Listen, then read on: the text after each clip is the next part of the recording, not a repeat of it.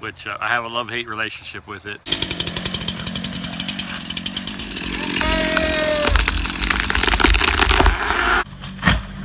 Man, that thing was a bugger.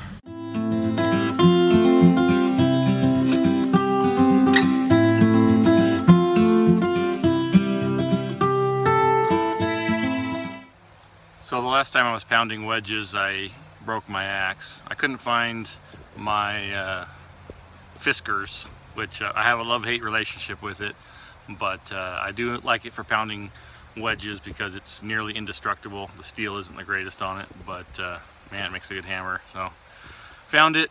We'll be using that today to pound our wedges instead of a broken axe and a picaroon.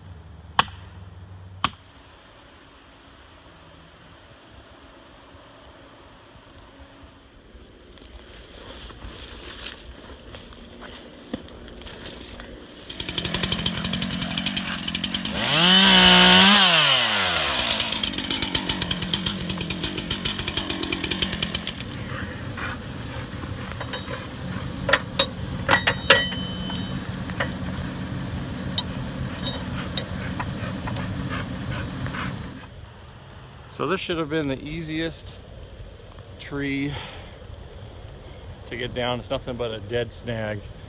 But tell you what, I only got like an inch left of holding wood. I've been pounding and pounding wedges. It's already leaning where I want it to go, but it just won't go. So I've got some cables, some pulleys set up.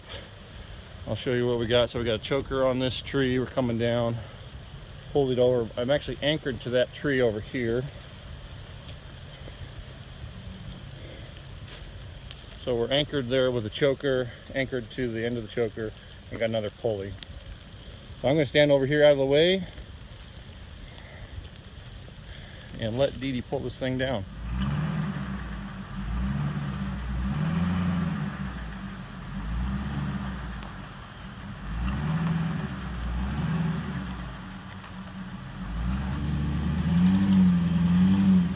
There it goes.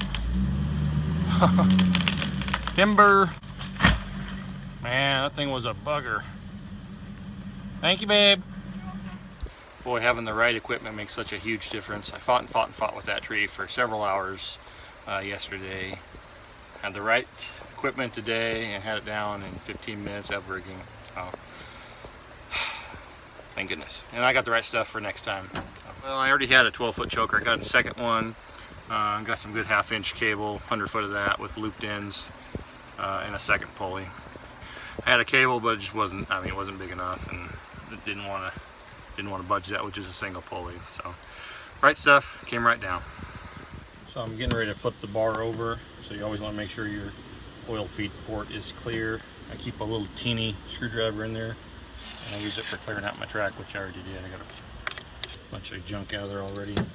So I'll make sure that it's clear. Your uh, bar is nice and clean and then I got a new chain to put on there.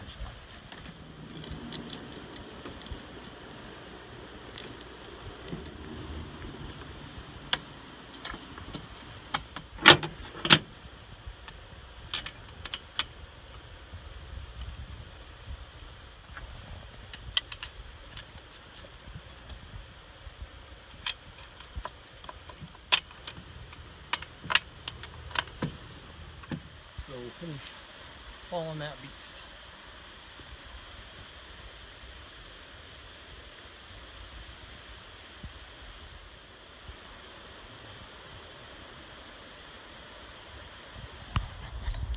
It's really cold and nasty out here today.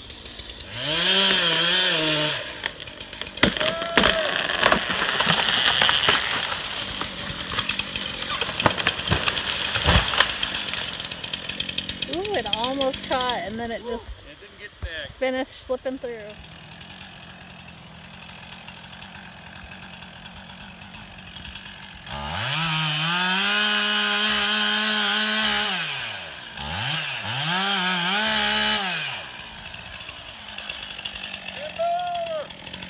Sola, come here.